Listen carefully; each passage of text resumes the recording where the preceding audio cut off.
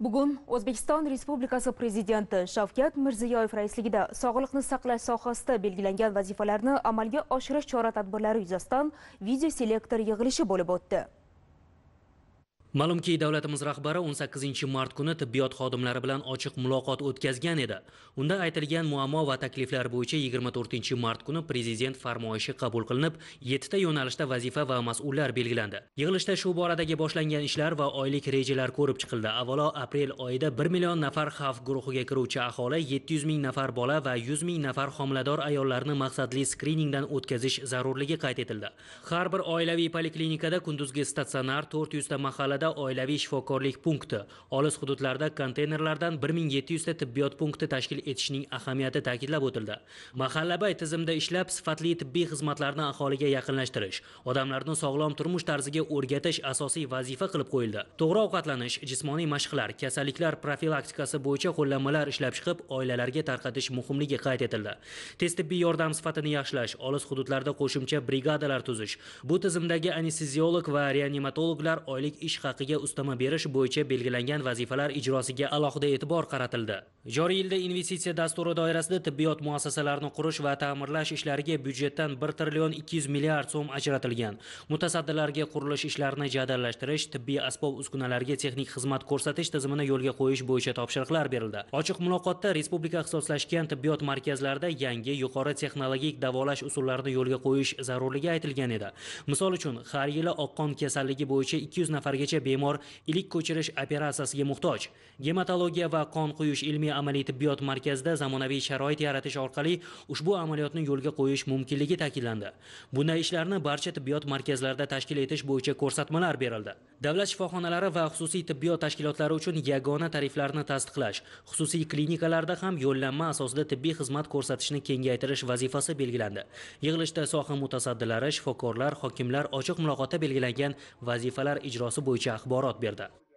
Prezidentimiz e, boshchiliklarida mamlakatimiz tibbiyot xodimlari bilan 18 mart kuni bo'lib o'tgan ochiq muloqotlarida bugun e, sog'liqni saqlash tizimida aholini yillar davomida e, qiynab kelayotgan juda keng ko'lamli muammolarni diagnostika qilib va ularni chuqur ichiga kirib keng ko'lamli topshiriq va vazifalarni berib o'tgan edilar va ushbu topshiriq va vazifalarni ijrosini ta'minlash maqsadida qo'shimcha E, ya'ni bu yilgi byudjet parametrimizga 24 trillion so'm ajratilgan byudjet parametriga qo'shimcha uch o'ndan 2 trillion so'm mablag' ham ajratib e, berganliklari va bugun e, mana 10 kun o'tyapti. Hali tizimda hech qanday siljish bo'lmagan ekanligi va bu aholimizni bugun juda ko'plab qiynab turgan masalalarni hali yechimi topilmayotganligi to'g'risida juda ko'p ko'rsatmalarni berib o'tdilar.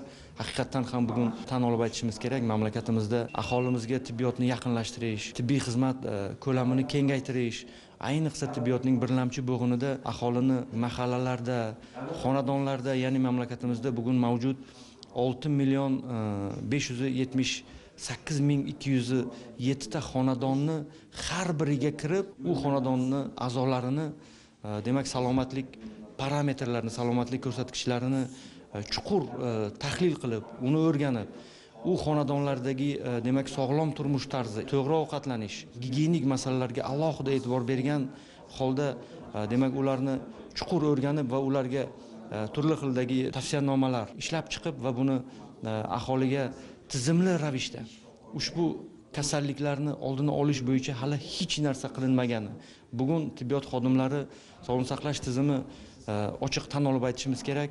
Э, uchrab turgan kelib chiqayotgan kasallik va uning asoratlari bilan kurashib yurganimiz va profilaktikasi to'g'risida hali umuman o'ylamayotganimiz shuncha e, muhtaram prezidentimiz shifokorlarimizni tibbiyot xodimlarimizni oylik maoshlarini tibbiyot muassasalarini moddiy texnik bazasini ta'minlab berayotgan bir paytda aholi bugun buni sezmayotgani to'g'risida e, juda qayg'urib bizga topshiriqlarni berib o'tdilar. Shuningdek e, yana bir e, yo'nalish bu mamlakatimiz aholisini mana yillar davomida qiynab kelayotgan bu ixtisoslashgan tibbiy xizmatni aholiga yaqinlashtirish. Demak respublikadagi ixtisoslashgan markazlarimiz respublika tibbiyot muassasalarini uyg'otib bugun yana pastga tushirib xalqimiz e, bu islohotlarni sezishini ta'minlab berishimiz to'g'risida alohida vazifalar bo'lib o'tdi. Topshiriqlar asosan bu ishlashimiz tizimi bu mahallabay eng asosiy mahallabay ish tizimini jadallashtirib mana shuni mukammal ishlashini rivojlantirish xususiy tibbiyotni rivojlantirish xususiy tibbiyotni davlat tibbiyoti bilan integratsiya qilish eng asosiy xalq roziligiga qilgan holda ishlashimiz lozim va eng asosiy bu mahallada ishlaganda har bir mahallada bu tibbiy punktlar ochib va tibbiy punktlar shunaqa ishlash kerakki sakkizdan sakkizgacha aholi kelib bir yuz yigirma xil dorini lekin eng asosiy o'sha birlamchi tizimda davolanib o'sha birlamchi tizimda ko'rinib agar muhtoj bo'lsa ikkilamchi tizimga bu tuman viloyat darajasiga chiqishga lozim bo'lishiga endi shu asosiy masala bizada bo'lib turadi va mana shu masala bo'yicha biza e, topshiriqlar oldik va bajaramiz. Shu yilning o'n sakkizinchi mart kuni muhtaram prezidentimiz tibbiyot xodimlari bilan ochiq muloqot o'tkazdilar.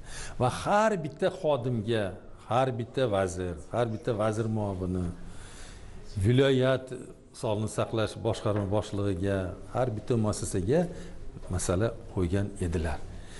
Mana bugun o'n kun o'tdi qanday qo'yilgan vazifalar bajarilyapti shu to'g'risida e, juda katta muloqot bo'ldi.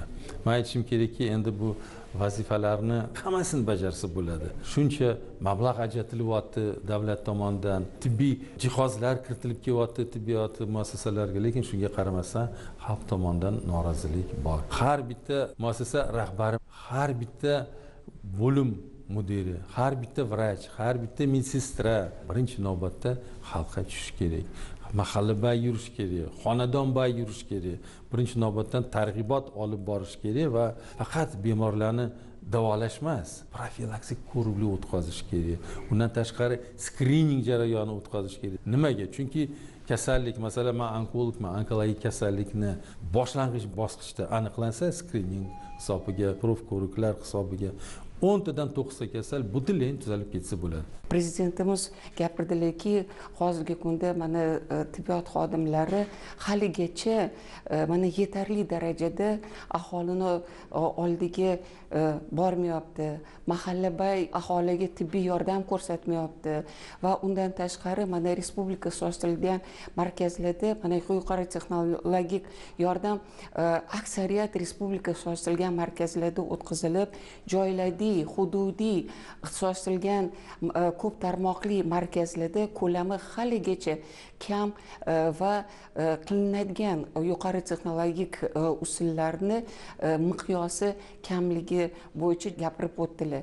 Shuni aytish lozimki ochiq muloqotda gapirgan gaplari va hozirgi yig'ilishdagi bizaga qo'yayotgan masalalarni talablarni hozirgi kunda kerakli chunki mana oxirgi besh yilda bolalarga birlamchi bo'g'imda bo'ladimi viloyat e, bo'g'imida bo'ladimi respublika bo'g'imida bo'ladimi bolalarga sifatli yordam ko'rsatish bo'yicha juda yam katta ishlar qilingan. Hozirgi kunda prezidentimiz tomonlaridan e, dastur qabul qilinib e, bizaga hozirgi kunda respublikada beshta kam uchraydigan irsiy kasalliklarga davlat tomonidan kafolatlangan tibbiy yordam ko'rsatish. Bu ya'ni e, qimmatbaho dori darmonlar bilan maxsus davolash oziqa bilan tibbiy uskunalar bilan jihozlar bilan qamrab olishga yordam ko'rsatilishi shakllantirilgan. Prezidentimiz bolalar orasida shu irsiy genetik kasalliklarni tug'ma kasalliklarni aniqlashda genetik laborator usullarni